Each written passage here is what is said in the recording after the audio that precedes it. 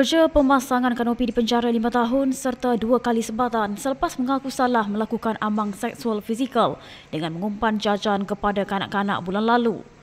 Tertuduh Zairul Nazri Zulkifli, 37 tahun membuat pengakuan itu selepas pertuduhan dibaca oleh jurubahasa di hadapan Hakim Sayani Muhammad Nur di Mahkamah Session di Muar pada 10 September.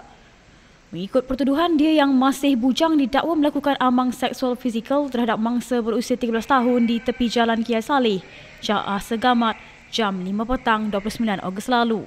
Tertuduh didakwa mengikut Seksyen 14 kurungan E Akta Kesalahan-Kesalahan Seksual Terhadap Kanak-Kanak 2017 dan boleh dihukum mengikut Seksyen 14 Akta Sama, penjara sehingga 20 tahun dan juga sebatan.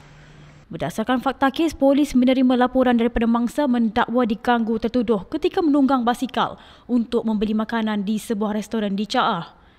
Sebaik selesai membeli makanan, mangsa dihampiri tertuduh yang ketika itu menunggang motosikal lalu menghulurkan jajan kepadanya.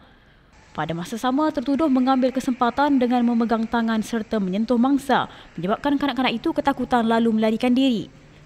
Mahkamah kemudian menjatuhkan hukuman lima tahun penjara serta dua sebatan dengan hukuman itu berkuat kuasa dari tarikh tertuduh ditahan 30 Ogos. Selain itu, mahkamah juga mengarahkan tertuduh menjalani pengawasan selama dua tahun sebaik selesai hukuman selari dengan Seksyen 27 EKK STKK 2017.